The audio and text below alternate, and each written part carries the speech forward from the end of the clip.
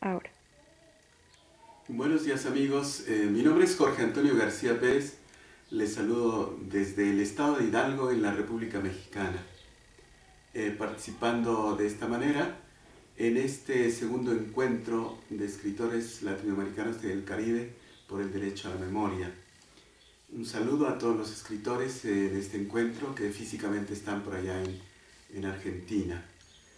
Pues mi ponencia en este caso va a hablar eh, eh, conmemorando un poco, eh, de alguna manera, el Día Internacional del Teatro Infantil y Juvenil. He querido tomar como un tema sui generis el teatro infantil con un enfoque más que de espectáculo, con un enfoque antropológico y educativo, porque voy a hablar de teatro para bebés. Hoy en día que ya en Europa, en Brasil, en Argentina, eh, se comienza a hablar de un teatro para bebés, eh, también entronca con algún trabajo, alguna investigación eh, y experimentación que estamos haciendo acá desde el Estado de Hidalgo en México. Se trata de este material que tenemos aquí, son unas colchitas, son unos edredones, que son objetos de crianza, objetos de cuna y entonces se convierte este espacio, se convierte en escenario de expresión verbal, de expresión de crianza y, por qué no decirlo, también de expresión teatral. Voy a contar una pequeña historia y luego ahondaré sobre, sobre estos edredones eh, en la guardería, en la casa, en el jardín de niños, en los espacios de crianza de niños de 1 a 6 años quizá.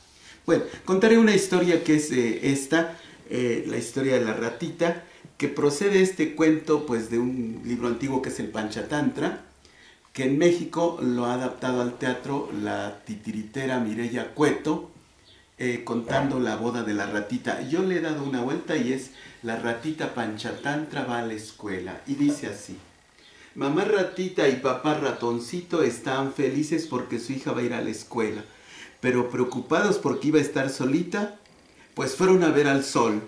Dijeron, buenos días, señor sol, buenos días. Buenos días, ¿qué se les ofrece? Queremos que cuide a nuestra hijita que va a ir a la escuela. Sí, queremos que me cuide.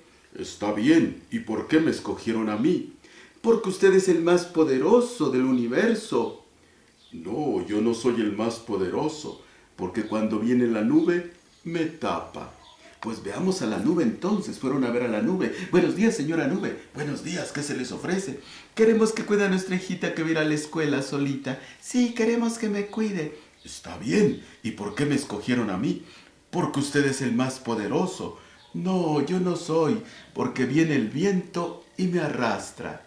Le dijeron entonces al viento, Señor viento, señor viento, ¿qué se les ofrece? Queremos que cuide a nuestra hijita que va a la escuela. Sí, yo voy a ir a la escuela. Está bien. ¿Y por qué me escogieron a mí? Porque usted es el más poderoso, porque arrastra la nube y la nube tapa el sol. No, yo no soy el más poderoso, porque cuando choco con la montaña, la montaña me detiene. Fueron a ver a la montaña y le dijeron lo mismo. Señora montaña, señora montaña, queremos que cuide a nuestra hijita que va a la escuela solita. Está bien. ¿Y por qué me escogieron a mí? Porque usted es la más poderosa. No, yo no soy la más poderosa, porque hay un ratoncito que viene y hace su casita en mi panza. Él es el más poderoso. Entonces fueron a ver al ratoncito. Ratoncito, ratoncito, ¿puedes cuidar a nuestra hijita que va a ir a la escuela? Sí, yo voy a ir a la escuela. Qué gusto, dijo el ratoncito. Yo también voy a ir a la escuela. ¿Pero por qué me escogieron a mí? Porque tú eres el más poderoso. Mm, no sé si sea el más poderoso, pero con la amistad de la ratita podemos ser como el sol que todo calienta, como la nube que todo riega, como el viento que todo arrastra o como la montaña que todo cobija. Y desde entonces el ratoncito y la ratita van juntos a la escuela.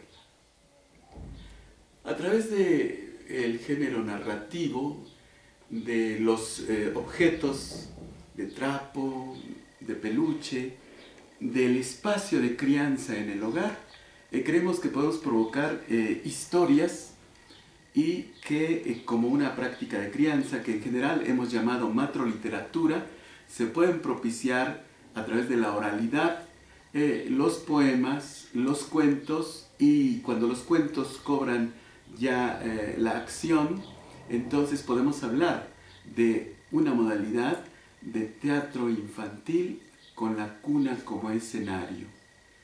Y bueno, pues es con esta idea con las, con las que he querido saludarles y con pues muchos otros objetos de, de peluche donde hay historias, como estos caballitos que contienen rimas, caballito negro y me alegro. El sol me da brillo, caballo amarillo. La tarde es hermosa, caballito rosa. Si llueve me mojo, caballito rojo. Me voy a un barranco, caballito blanco. Un perro me muerde, caballito verde. Y así sigue la historia con la cual estamos jugando, coparticipando con estos eh, nenes de 1 hasta 6 años, mientras van adquiriendo eh, el lenguaje a través de esta forma que es la literatura transmitida en forma oral y eh, con la que ah, estamos ejerciendo esta propuesta, Matro Literatura, en este caso Matro Cuentos a través del teatro. Gracias, hasta pronto.